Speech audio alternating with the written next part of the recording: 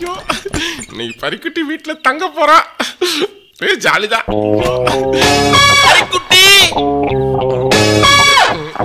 Hello பரிக்குட்டி. என்ன ரெஸ்பான்ஸே இல்ல? எங்க போயிருப்பாங்க.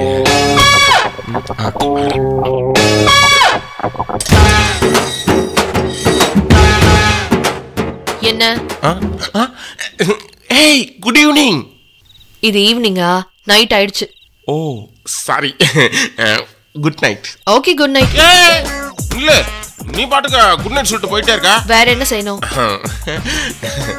பொதுவா ஒரு அத்தை ஆண்டிப்பட்டியில இருந்து வந்தாலே கோழி அடிச்சு குழம்பு வச்சு சோறு போற கலாச்சாரம் நம்ம கலாச்சாரம். நான் பர்மால இருந்து வந்திருக்கேனே. நான் எங்க தங்குவேன்?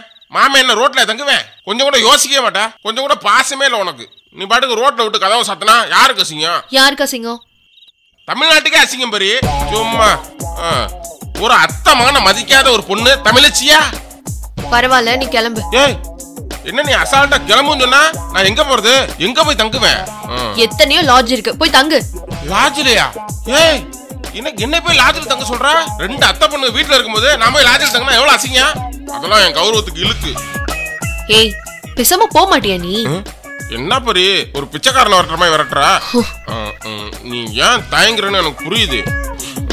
ரெண்டு பச்சைக்கிளி இருக்கிற கூட்டுக்குள்ள என்னை மாதிரி ஒரு கட்டிலங் காளையை எப்படி அலோவ் பண்றதானே யோசிக்கிற? அதானே? இங்க வாரு பரிக்குட்டி நான் ரொம்ப டீசென்டானவன் ரொம்ப பெர்ஃபெக்டா நடந்துக்கிருவேன். என்கிட்ட நீ எந்த பயமும் பட வேணாம். ஐ ஆம் அப்சல்யூட்லி டீசென்ட் பாய் ஏய் நீ என்ன பேசினாலும் உன்னை உள்ள விட முடியாது. பேசாம போயிடு. ஏய் நோ பரி. எனக்கு இங்க ஒரு இடம் வேணும். நான் தலை சாஞ்சு உறங்க. என் தாய்நாட்டுல எனக்கு ஒரு இடம் இல்லையா? என்ன போன் எடுக்கிறா? யாரு கால் பண்றா? போலீஸ்க்கு எதுவும் பண்ணிடுவாளோ? என்ன பண்றது? ஆ கோபி அண்ணே. இந்த சம்பந்தம் வீட்டு வாசல்ல வந்து தொல்லை கொடுத்துக்கிட்டே இருக்கான். வந்து கொஞ்சம் என்னன்னு கேளுங்க. பயந்துரும் ஏன் இந்த கத்து கத்துறதுக்கு நேரா போய் கூட்டு வந்துருண்டியானே எதுக்கு போனு ஏய் பரி. ஏய் நானே செக்யூரிட்டியா இருப்பேன். எதுக்கு அவரை செக்யூரிட்டி வேலைக்கு கூப்பிடுது என்ன இந்த பிள்ளை? கொஞ்சம் கூட ஒரு மரியாதை தெரியலையே. ஹே கலைக்குட்டி. ஏ கலைவாணி கலைவாணி. ஐயோ, அழகா இருக்கே அழகா இருக்கே அழகா இருக்கே. என்ன வேணும் உனக்கு? ஏன் தொட தொடன்னு வாசல்ல நின்னு கத்திக்கிட்டு இருக்க? நான் பேசுறது உனக்கு தொணத்தனங்கிற மாதிரி இருக்கா? நான் எதுக்கு அந்த பல பழகிற பர்மா விட்டுட்டு இந்த ஊருக்கு வந்திருக்கேன்? என் அத்தை மக ரெண்டு ரத்தினமும் இருக்கியே. அந்த ரெண்டு ரத்தினத்துல ஏதாச்சும் உனக்கு வாழ்க்கை கொடுக்கத்தானே வந்தேன். ஆரத்தி எடுத்து நீ வரவேற்கிறத விட்டுவிட்டு என்னை வாசல் நிப்பாட்டி வச்சுட்டு வாட்ச்மேன் மாதிரி கேள்வி கேட்டுக்கிட்டு இருக்க. நீ இப்படி பண்ணலாமா? இப்போ உனக்கு என்ன வேணும்? அப்படி கேளு. அந்த பறிக்கிட்டு இருக்கால அவ வேஸ்ட் அவளை விட நீ தான் ரொம்ப டீசெண்டா இருக்க. உன்கிட்ட நான் பிராங்கா கேட்குறேன் உன்னை கட்டிக்க நான் விரும்புறேன்.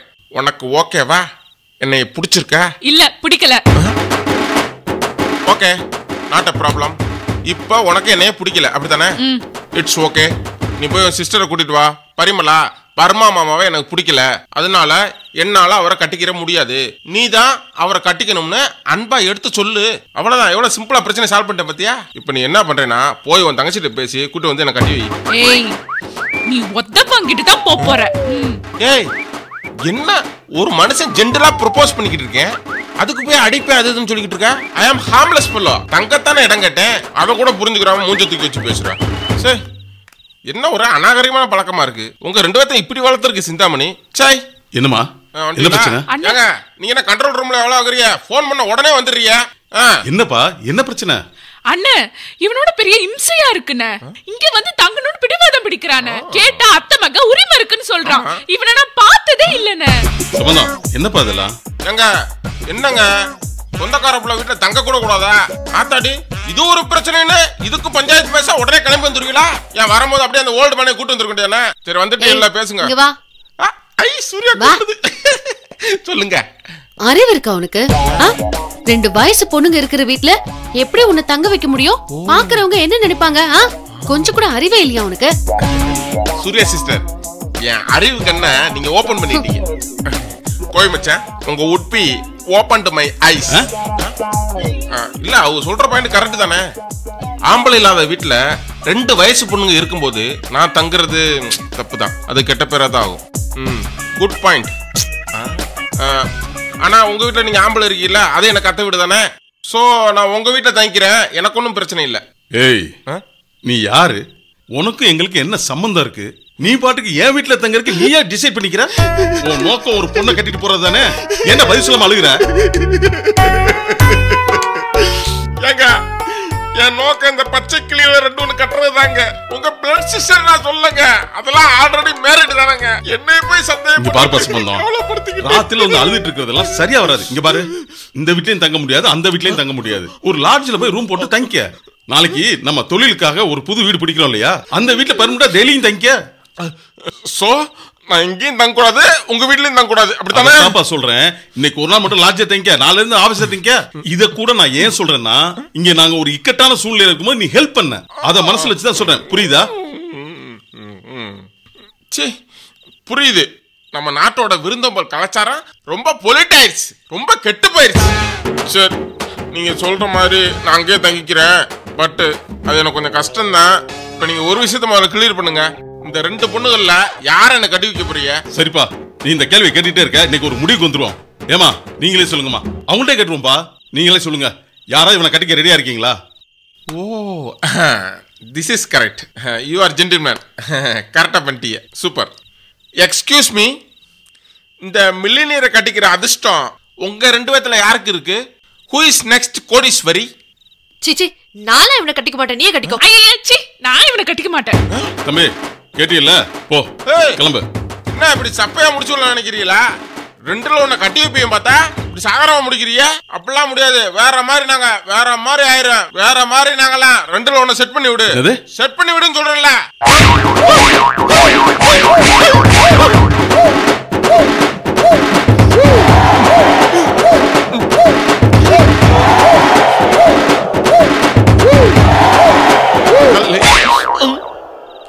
அங்கேயே அடிக்கிறா.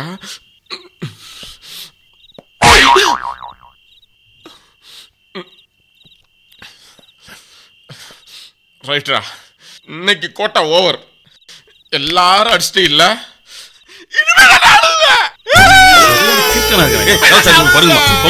இனிமே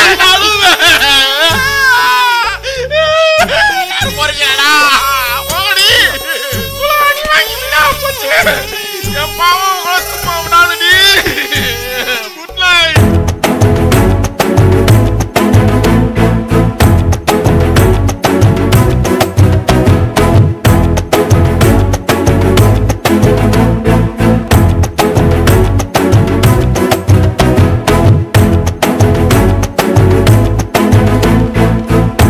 பா பா கோபி.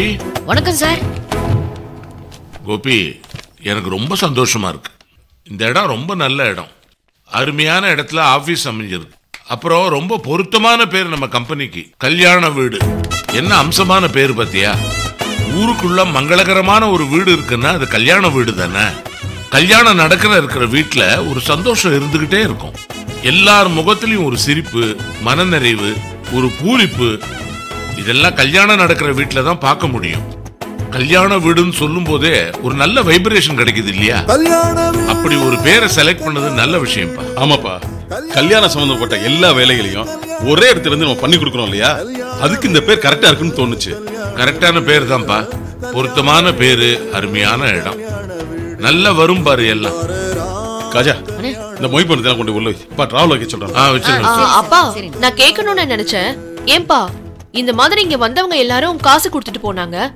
அவங்க பேரை நோட்ல இன்னாரு இவ்ளோ கொடுத்தாங்கன்னு எழுதிக்கிட்டோம். எதுக்குப்பா? ஏம்மா உனக்கு இந்த மொய் பத்தி எல்லாம் தெரியாதா? நான் எந்த விசேஷத்தை கண்டேன்ப்பா? எனக்கு எதுவும் தெரியாது. சார் பரிக்குட்டி கேட்டது குட் கொஸ்டின் தான். நீங்க ஆன்சர் பண்ணுங்க. சொல்றேன். நம்ம வீட்டு விசேஷங்களுக்கு மொய் பண்றது நம்ம முன்னேறுகள் ஏற்படுத்தின ஒரு சிஸ்டம் அந்த காலத்துல எல்லார்ட்டையும் பணம் இருக்காது. அப்படி ஒரு சூழல்ல விசேஷம் வைக்கும்போது நிச்சயமா பணத்தட்டுப்பாடு இருக்கத்தான் செய்யும். அதனால விசேஷத்துக்கு வரவங்க மொய் செய்யறத ஒரு சம்பிரதாயமாக்கினாங்க. இது ஒரு விதமான ஃபண்ட்ரைசிங் ஆக்டிவிட்டி தான். இதனால விசேஷம் நடக்கிற வீட்டுக்கு ஒரு தொகை கிடைக்கும். அந்த நேரத்துல அவங்களுக்கு ஒரு ஹெல்ப்பா இருக்கும். இந்த தொகைய மத்த வீட்டு விசேஷங்கள்ல மொய் செலுத்தி திருப்பி கொடுத்துருவாங்க. இது ஒரு விதத்துல சுமைய பகிர்ந்துக்கிறதுக்கான ஒரு வழிமுறை. Sir I like the system sir ஒரு பெரிய அமௌண்ட கடனை வாங்கிட்டு ஈஸி இன்ஸ்டால்மெண்ட்ல ரீபேமெண்ட் பண்ணிடுறது. Without இன்ட்ரெஸ்ட்ல sir very good idea sir நம்ம முன்னோர்கள் ஒன்றும் முட்டாள் இல்லை சார் என்ன ஒரு எக்கனாமிக்கல் கண்டுபிடிப்பு பார்த்தீங்களா? நான் கோபி வந்த வேலையை மறந்துட்டேன்.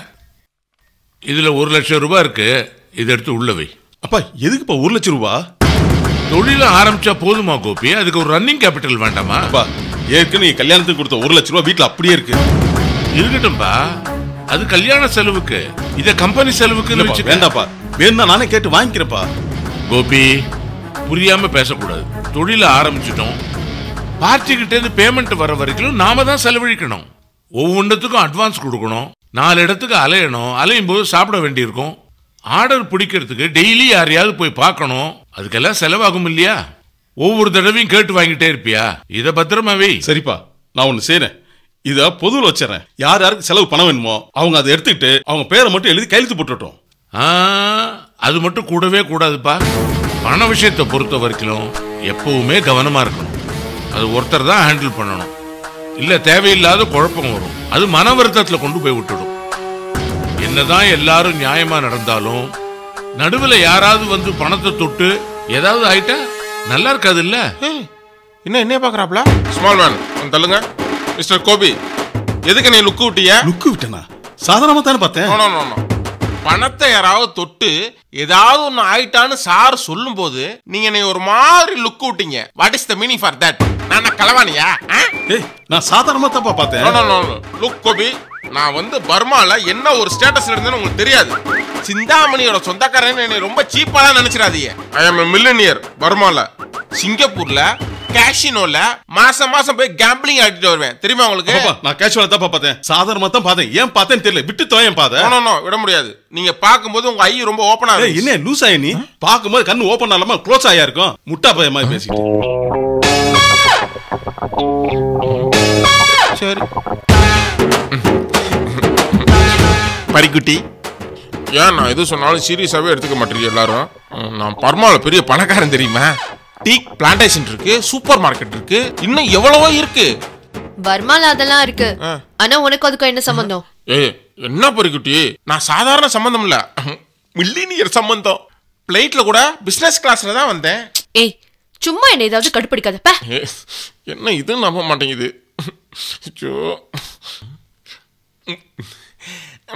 Excuse me Manik sir. என்னையா?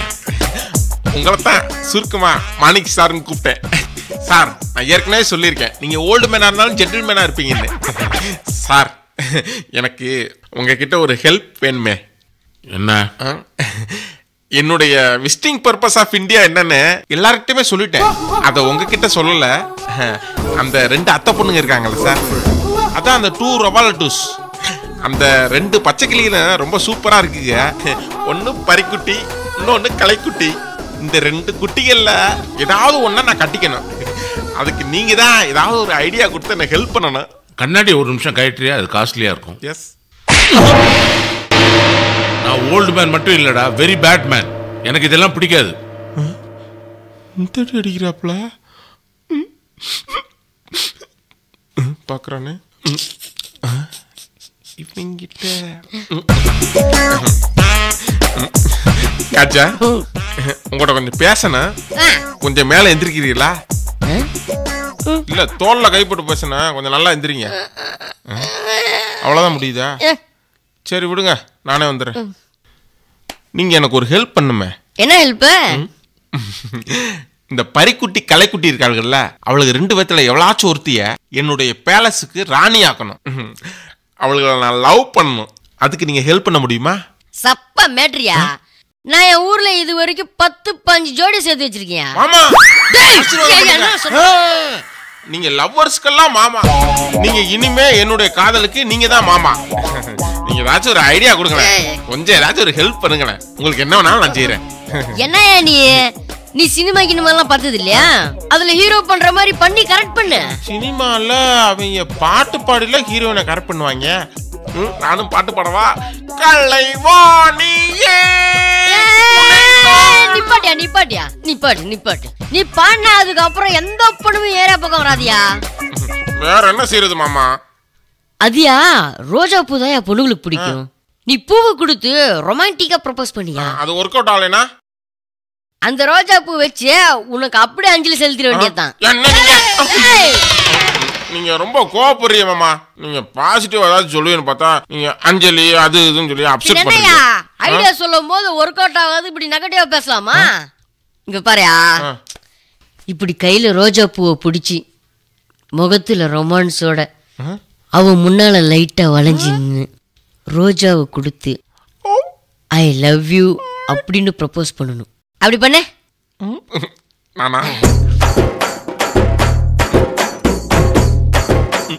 இதான் ரோஸ்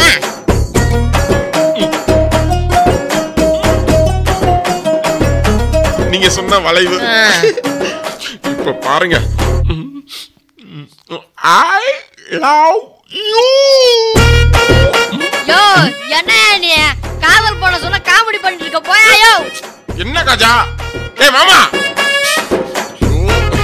இவனும் கிளம்பிட்டானே. எல்லா பேரும் என்னை காமெடி நினைச்சிட்டீங்களா? சாதிச்சு காட்டுறேன்.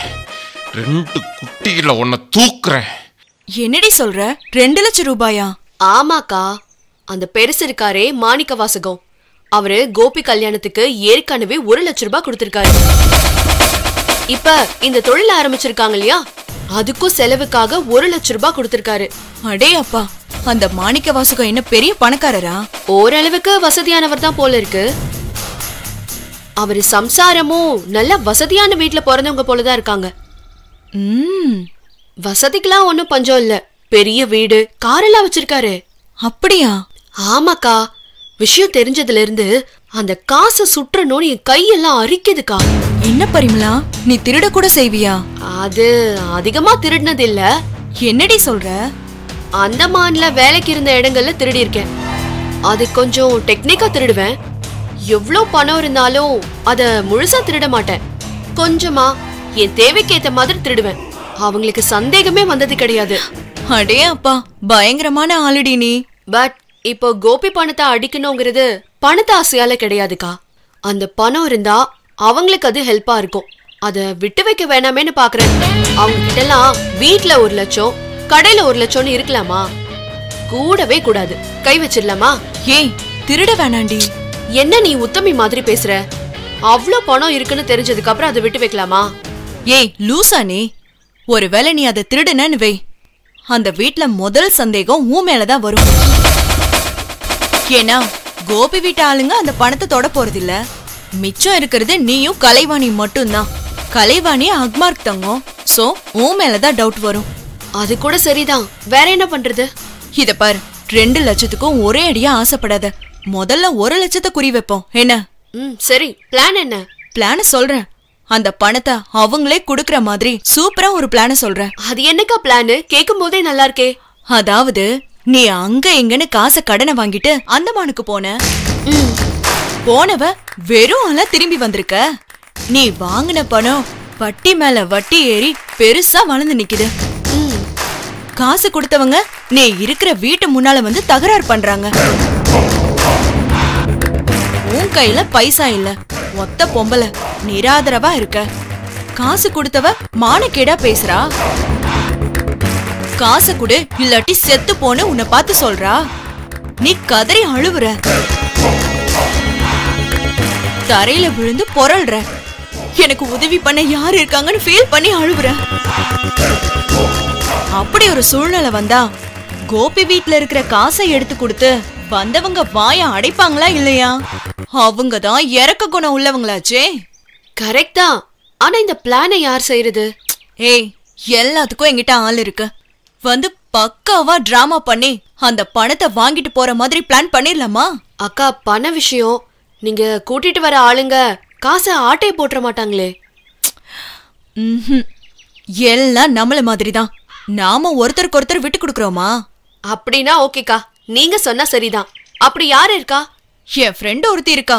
இன்டர்நேஷனல் ஃப்ராட் அவ. நடிப்பு பிரமாதமா பண்ணுவா. அவகிட்ட நீ பணம் வாங்கினது உண்மைன்னு மட்டும் சொல்லிரு. அதுக்கப்புறம் பெர்ஃபார்ம் பண்ணி காசை வாங்காம அந்த இடத்த விட்டு அசையவே மாட்டா. சூப்பர்க்கா ஆனா ஒண்ணு அவ காசு விஷயத்துல கரெக்டா இருப்பா. ஒரு லட்ச ரூபாவை வாங்கி நம்ம கிட்ட கொடுத்துருவா. அதுக்கு அவளுக்கு உண்டான பேமெண்ட்டை நாம கொடுத்துடணும் அதை கொடுத்துடலாம்க்கா. ஒன்னும் பிரச்சனை இல்ல. அப்படின்னா வேலையை ஆரம்பிச்சிடலாம்ல? இப்பவே கிளம்பலாம்க்கா.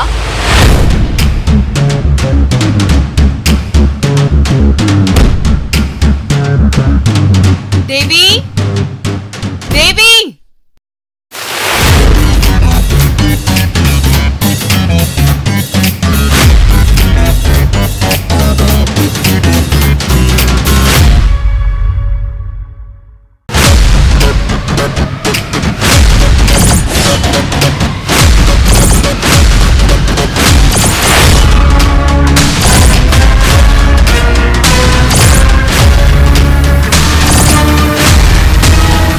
உங்களை இங்க கொண்டாந்து மாட்டி விட்டது யாரு?